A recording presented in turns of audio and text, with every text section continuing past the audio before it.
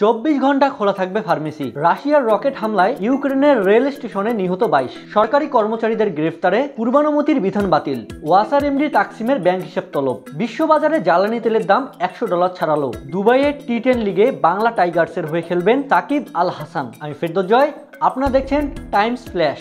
বিদ্যুৎ সাশ্রয়ের লক্ষ্যে ঢাকা দক্ষিণ সিটি কর্পোরেশন এক গণবিজ্ঞপ্তিতে জানিয়েছে, আগামী এক সেপ্টেম্বর থেকে সিটি এলাকায় যেসব ফার্মেসি আছে তা রাত বারোটা পর্যন্ত চলবে এবং হাসপাতাল সংশ্লিষ্ট ওষুধ ফার্মেসি খোলা রাখা যাবে রাত দুটা পর্যন্ত।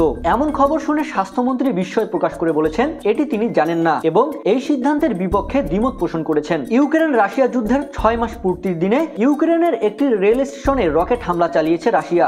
স্থানীয় সময় বুধবার এ হামলায় অন্তত বাইশ জন নিহত হয়েছেন। দেশটির পূর্বাঞ্চলীয় শহর চ্যাপলিনে একটি গাড়ি পুড়ে পাঁচ জন মারা গেছেন। মৃতদের মধ্যে এগারো বছর বয়সী একজন কিশোরও রয়েছে। ব্রিটিশ গণমাধ্যম বিবিসির প্রতিবেদনে এসব জানানো হয়েছে।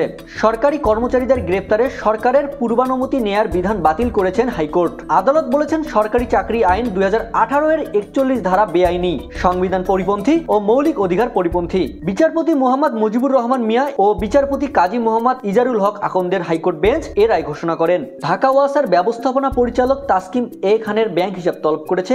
বাংলাদেশ ব্যাংকের আর্থিক গোয়েন্দা বিভাগ, Bangladesh financial intelligence unit. Bangladesh bank সূত্রে এ তথ্য জানা গেছে।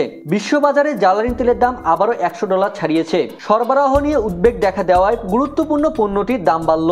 বার্তা সংস্থা রয়টার্সের প্রতিবেদন অনুযায়ী, রাশিয়ার রপ্তানিতে ব্যাঘাত, প্রধান সরবরাহকারীদের উৎপাদন কমানোর সম্ভাবনা ও মার্কিন শোধনাগারের আংশিক বন্ধের কারণে এমন পরিস্থিতি তৈরি হয়েছে। সংযুক্ত আরব আমিরাতের টি টেন লিগে খেলবেন বিশ্বসেরা অলরাউন্ডার সাকিব আল হাসান সেখানে আইকন ক্রিকেটার হিসেবে বাংলা টাইগার্সের সঙ্গে চুক্তি করেছেন বাংলাদেশ ক্রিকেটের এই পোস্টার বয়। বিষয়টি নিশ্চিত করেছেন বাংলা টাইগার্সের একটি সূত্র।